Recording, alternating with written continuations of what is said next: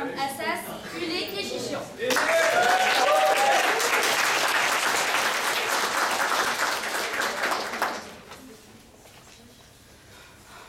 Your Excellency, Madam Chairman, I love your Louboutins. Timely timekeeper, honorable mem members of the jury, misguided government, though I love your Louboutins too. Intelligent and experienced opposition, ladies and gentlemen of the audience, good evening. Well, I just heard about someone say how you cherish your memories. Well, yes, you do. But sometimes that's the point. That's the bad thing about experience. That's what, that's what makes conservatives, and that's what makes my grandma dress as if there we were in the 1950s. You know, I also heard about how happy experiences make you, but the motion says more important, not happier. And One last thing I, I wanted to add is that, um, you know, I'm not sure I will be as useful to science as Einstein was once I get to be 90 years old. Hear, hear. Now, I don't know about you, but I feel like the members of this government are spending most of their lives living in a pastime paradise. As a successful Instagram blogger, I see that they're pretty reactionary and stuck in the mud. I mean, they really need to start using new technology, but well, that would force them to let go what they know. Now, moving on to my arguments. My first argument will be that experience is subjective and cannot be transmitted. And my second argument will be that experience is useless when something new comes up. For instance, yesterday we were sitting around the campfire and Reverend White was like, this, just a minute, is the ideal setting. He was loving it when there was no socket for my charger, huge spiders everywhere, and worst of all, ladies and gentlemen, future handbags, or crocodiles as they call them.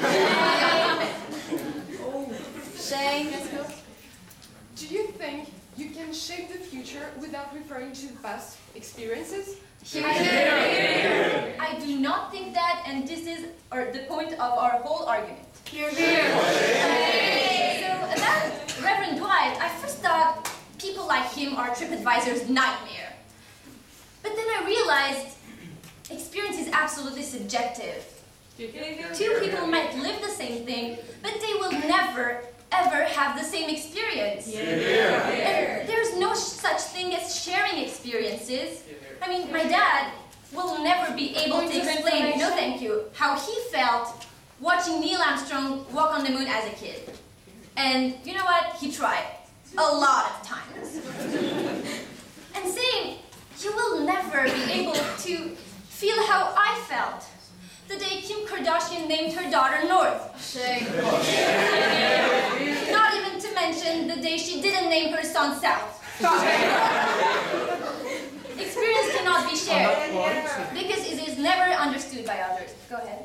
Uh, as, an, as an Instagram blogger, isn't sharing your experience that gives you so many followers? Hear, hear. It is, and I'm very happy to make money out of it, but I don't believe in it. Oh, Shane.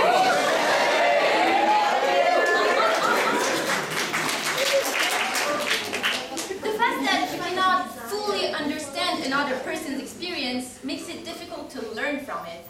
And look, you know what? My mom spent five years telling me there's more to life than looking pretty. and honestly, I could not understand that until the day I discovered Candy Crush on my own. Experience stays at the level of the individual. And this leads me to my second argument. As we just saw, experience can only be useful to you. But even to you, experience is only useful in very identical situations.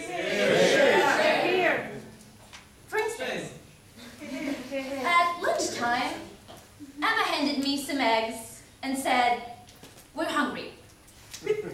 So I stayed there for like five minutes and then said, I'm sorry, but there is no pan and no cooker. And I mean, in my experience, you need those to make an omelette. And that's the moment when nerdy guy there came, no thank you, and said, you know, maybe the van roof is hot enough. And so guess what, ladies and gentlemen?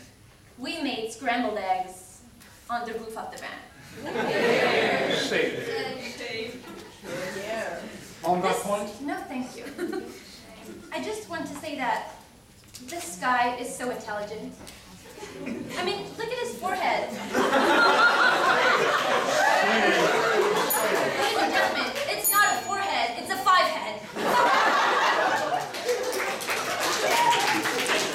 No, seriously, you cannot improvise or innovate with experience. Safe. For that, you need intelligence.